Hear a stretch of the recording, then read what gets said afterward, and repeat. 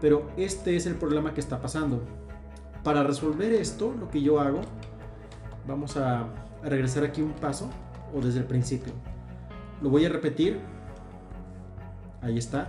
Y me voy a acercar al trazo y voy a ver que, no llega exactamente. ¿Qué es lo que puedo hacer aquí?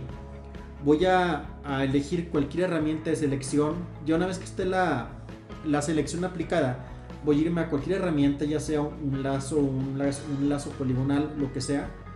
Y me voy a ir aquí a Refine Edge. Con esto voy a poder editar mi selección que la voy a poder visualizar aquí en rojo. Me voy a acercar para ver. Me voy a ir aquí a Feather para difuminar un poco que no quede tan marcado. Voy a exagerar el Feather para que vean lo que pasa. Ven, es como un difuminado, pero lo voy a hacer más pequeño con un pixel. Y voy a mover el borde con Shift Edge aquí. Vamos a ver a la izquierda. Aquí ya se sale del contorno. Vámonos a la derecha. Aquí está. Lo que debo hacer es moverlo, deslizarlo, de modo que quede abajo del trazo. Aquí ya puedo ver que está abajo del trazo negro. Doy OK. Y voy a colorear en la capa de abajo. Con esto queda resuelto el problema. Voy a quitar la selección. Y ahora sí, el trazo queda a la perfección. Hay otras maneras de hacerlo, pero creo que esta es muy rápida y muy práctica para aplicar. El resultado es muy bueno. Y pues bueno, vamos a continuar con lo siguiente. Voy a acelerar el proceso. Como pueden ver, es mucho más fácil eh, agarrar una brocha gruesa, pintar todo el gato, asegurarnos que no quede ningún hueco y después ir borrando toda la silueta. Creo que es mucho más rápido así que ir pintando todo el relleno que puede tardarnos mucho. Entonces una brocha amplia para rellenar rápidamente y después delimitar el borde. Voy a hacer este proceso con todos los colores o elementos principales y una vez que esté listo regresamos para sombrear. Esta parte que es como del panel de control del robot y el fondo donde creo que debería verse más oscuro para diferenciar las partes y darle un poco más de profundidad. Quiero que sea el mismo color pero más oscuro. Y para no volver a pintar hice una selección muy rápida con el lazo y voy a presionar control L para abrir la ventana de niveles. Y con esto puedo hacerlos más claros o más oscuros. Puedo deslizar por ejemplo los blancos hacia la izquierda hacia los negros para hacer más como sombrío eh, ese, ese apartado o puedo hacerlo a la inversa. Vean y ahí le puedo meter más color. Pero vamos a hacerlo más oscuro. Bueno ya tengo prácticamente dividido todos los colores. Eh, veo que creo que esta debería quedar más oscuro en las sombreras. Vamos a hacer una técnica para no volver a, a delimitar. Voy a seleccionar la capa donde están los colores grises y voy a activar aquí arriba este candado donde está la cuadrícula y va a aparecer aquí a la derecha, ven este candado. Eso quiere decir que voy a bloquear los píxeles. Y al bloquear los píxeles, lo que pasa es que yo puedo colorear. Es muy similar a lo que hicimos con la máscara. Puedo colorear encima y no me voy a salir. La diferencia es que aquí nada más voy a pintar donde ya haya pintado, eh, donde haya información de color o donde haya pintado anteriormente. Vamos a darle, por ejemplo, para que visualicen cuáles son las áreas que voy a pintar voy a darle control invertir con control I. Estas partes son las que estoy eh, pintando ¿sí? voy a activarlas a seleccionarlas perdón y rellenamos las sombreras con cuidado de no atacar otras áreas que están en la misma capa por ejemplo las orejas también se afectan aquí.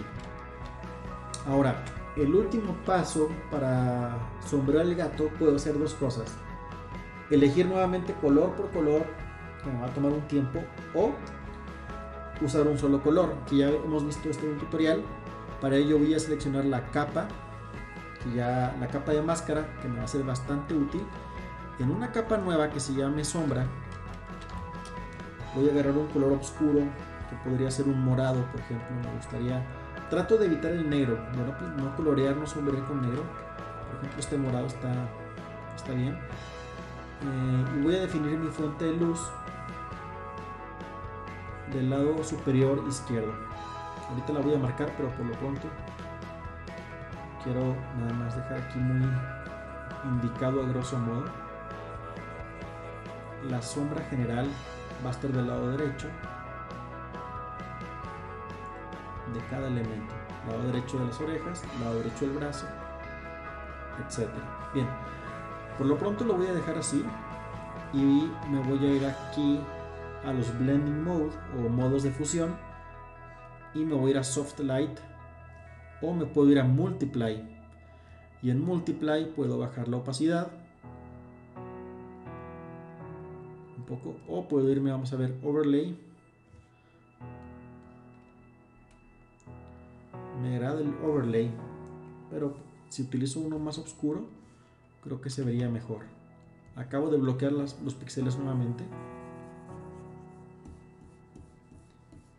Sí.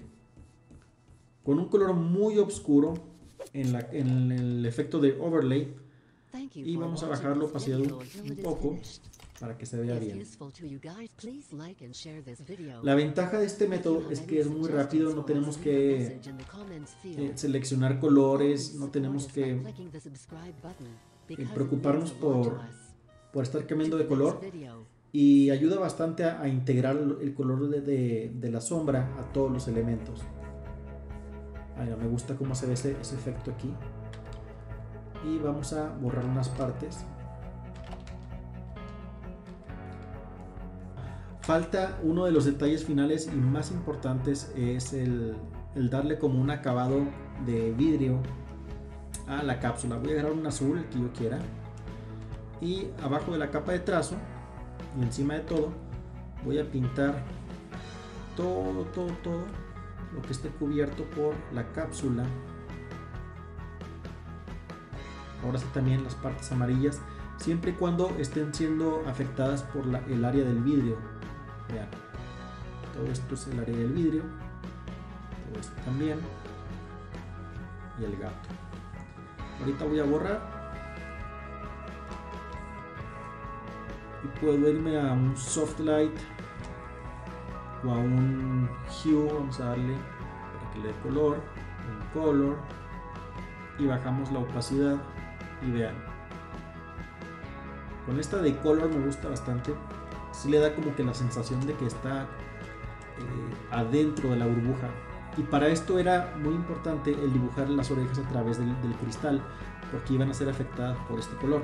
Este color lo pongo arriba de todas las capas para que afecte todas las áreas que están adentro. Puedo crear una capa aquí de, por ejemplo, curvas y puedo editar el dibujo. Eh, por ejemplo, bajar los rojos, subirlos. Podemos jugar con estas curvas para el acabado final. A lo mejor ahora los verdes. Con los verdes se ve interesante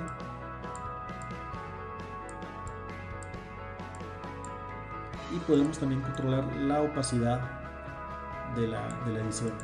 La ventaja de este método es que pues bueno, puedes ir y regresar y editarlo. Pero bueno, por lo pronto creo que son bastantes tips para poder colorear tus personajes, sobre todo estilo Toon.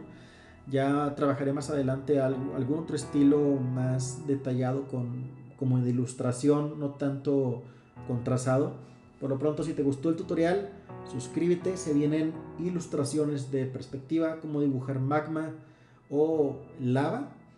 Y tenemos por ahí también pendientes perspectiva a dos puntos de fuga, a tres puntos de fuga y muchas otras cosas más aquí en el canal. Por lo pronto yo me despido, yo soy Grecos y esto es The Geek Tower, tu canal de dibujo.